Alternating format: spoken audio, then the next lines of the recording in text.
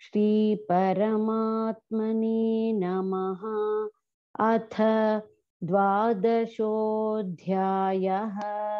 भक्तियोगः। अर्जुन उवाच। एवं सततयुक्ता ये भक्तास्त्वां पर्युपासते। ये चाप्यक्षरमव्यक्तं तेषां के योगवित्तमाः। श्रीभगवानुवाच मय्यावेश्यमनो ये माँ नित्ययुक्ता उपासते, श्रद्धया परयोपेताः। ये मे युक्ततमामताः। ये त्वक्षरमनिर्देश्यम् अव्यक्तं पर्युपासते सर्वत्र गमचिन्त्यं च। कूटस्थमचलं ध्रुवं सन्नियम्येन्द्रियग्रामं सर्वत्र समबुद्धयः ते प्राप्नुवन्ति मामेव सर्वभूतहिते रताः क्लेशोऽधिकतरस्तेषाम् अव्यक्तासक्तचेतसाम् अव्यक्ता हि गतिर्दुःखम्, देहवद्भिरवाप्यते, ये तु सर्वाणि कर्माणि, मयि सन्न्यस्य मत्पराः, अनन्येनैव योगेन। मां ध्यायन्त उपासते तेषामहं समुद्धर्ता मृत्युसंसारसागरात् भवामि न चिरात् पार्थ। मय्यावेशितचेतसां मय्येव मन आधत्स्व। मयि बुद्धिं निवेशय निवसिष्यसि मय्येव। अत ऊर्ध्वन्न संशयः अथ चित्तं समाधातुं न शक्नोषि मयि स्थिरम्।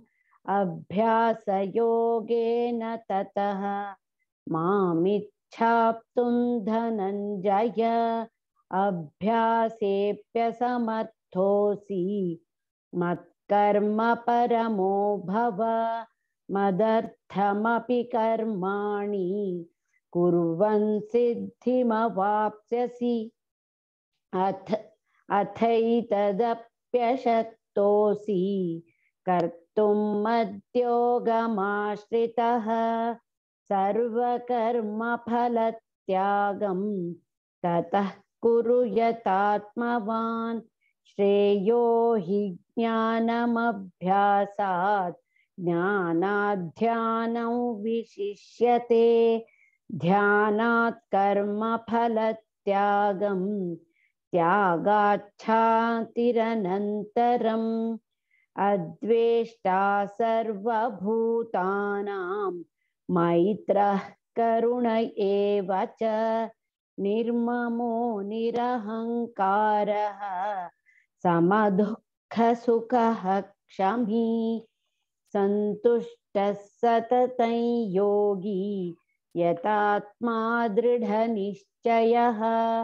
मय्यर्पितमनो बुद्धिः यो मद्भक्तः स मे प्रियः।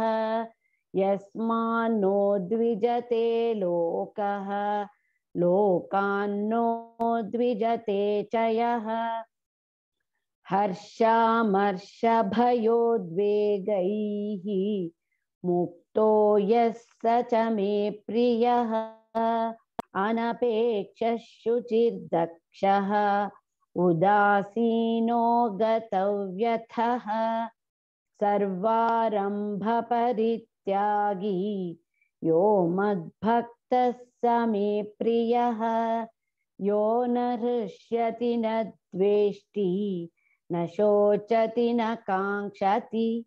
शुभाशुभपरित्यागी। भक्तिमान्यः स मे प्रियः। समशत्रौ च मित्रे च। तथा मानापमानयोः।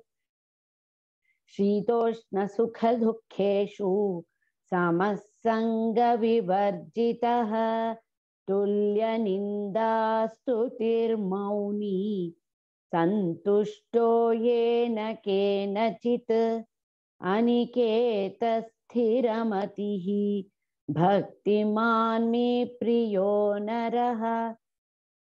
ये तु धर्म्यामृतमिदं यथोक्तं पर्युपासते श्रद्धधानामत्परमाः। भक्तास्तेतीव मे प्रियाः।